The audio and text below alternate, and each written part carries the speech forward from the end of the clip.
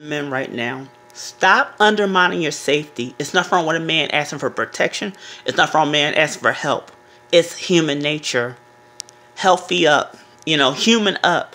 It's asking for protection, asking for strength. It's not wrong with that. Fighting is not just all about physical. Fighting can be verbal. Fighting can be competing with yourself of making negative into positive. Positive can positive can help positive, negative, negative go away.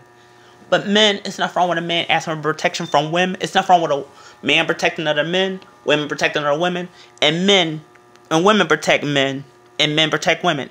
Protection should be for everybody, but this is for men because, like I said, for males, it's too many tall orders put on us. And the reason why I made my bill called Tall Order because as men and me of color, it's a lot of tall orders on me. I'm gay. I'm gay. I'm black. I'm effeminate.